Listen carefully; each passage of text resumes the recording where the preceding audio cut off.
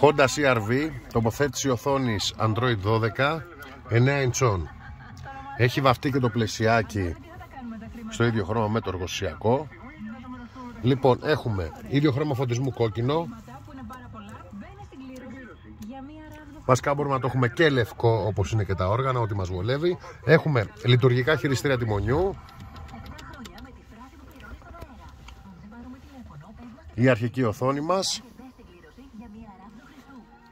Και εδώ αλλάζει τα χρωματάκια αν θέλουμε να είναι όπως το εργοσιακό περίπου.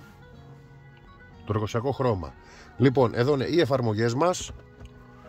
Έχουμε νάβι, ράδιο, μουσική, βίντεο, κλήσεις bluetooth, μουσική μέσω bluetooth, οι εφαρμογές μας Play Store, YouTube, Google Maps.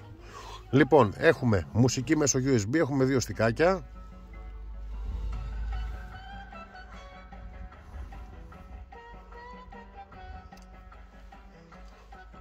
Βίντεο μέσω USB.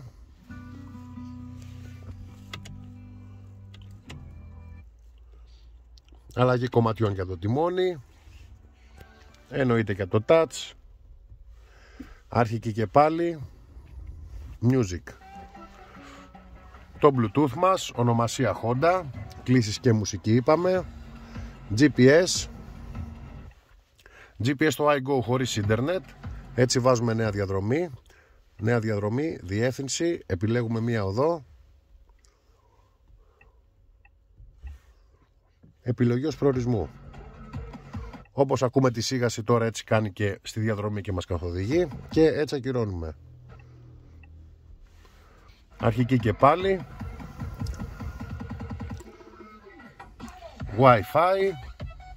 Αν θέλουμε να κάνουμε hotspot από το κινητό και να έχουμε maps, YouTube και έχουμε και Android Auto και CarPlay με αυτές τις δύο εφαρμογές. Αυτά.